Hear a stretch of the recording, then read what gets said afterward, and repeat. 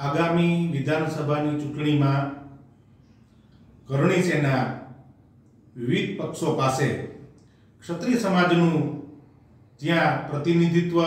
અને જ્યાં નિર્ણાયક મતો છે એવી ગુજરાતની ટોટલ પચીસથી ત્રીસ જેટલી જગ્યાઓમાં આ પ્રતિનિધિત્વ મળે અને ટિકિટ મળે